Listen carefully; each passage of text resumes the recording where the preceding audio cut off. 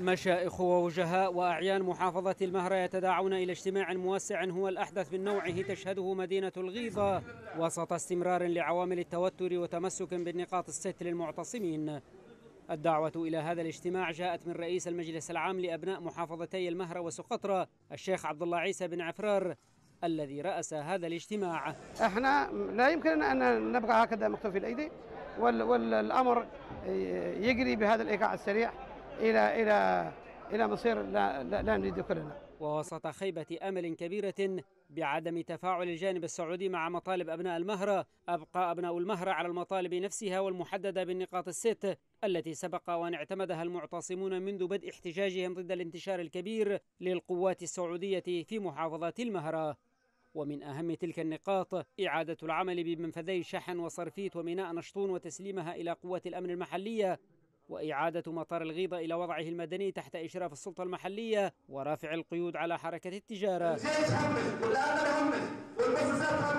والمشاريع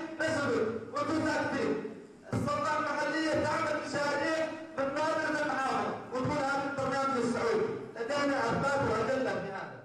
البيان الصادر عن اجتماع مشائخ ووجهاء وأعيان المحافظة جدد تمسك أبناء المهرة بالقيادة السياسية ممثلة بالرئيس عبد الرب منصور هادي وبالدور العسكري للتحالف العربي لكن وفقا للأهداف المعلنة التي جاء من أجلها.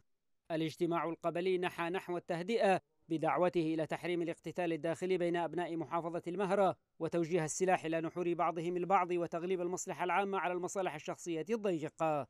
وأكد في الآن ذاته تمسك أبناء المحافظة بالمجلس العام لأبناء محافظتي المهرة وسقطرى برئاسة الشيخ عبد الله بن عيسى العفرار وبرؤيته السياسية وبالخيار المجمع عليه المتمثل بإقامة إقليم خاص بالمهرة وسقطرى على حدود 1967 وفقا لما جاء في البيان وتطلع المجتمعون إلى أن تصدر عن الرئاسة نتائج إيجابية لما يخدم مصلحة المهرة وأمنها واستقرارها في أعقاب زيارة اللجنة الرئاسية برئاسة رئيس هيئة الأركان العامة والتي غادرت المحافظة دون الإفصاح عن أي نتائج.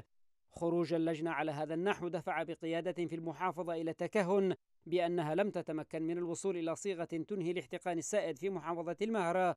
في وقت توقع فيه وجهاء المهرة بأن ترفع اللجنة مطالب كل الأطراف إلى الرئيس هادي ليتخذ الإجراءات التي تنهي هذا الوضع وتعيد الأمور إلى نصابها. وإذا ما تعزز اعتقاد كهذا فإن مؤشرات التصعيد الخطير في محافظة المهرة لا تخطئها العين خصوصا إذا ما بقيت القوات السعودية على حالها من التمدد والسيطرة الشاملة.